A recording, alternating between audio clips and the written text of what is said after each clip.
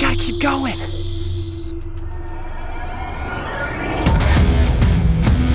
I know. Just give me one more second.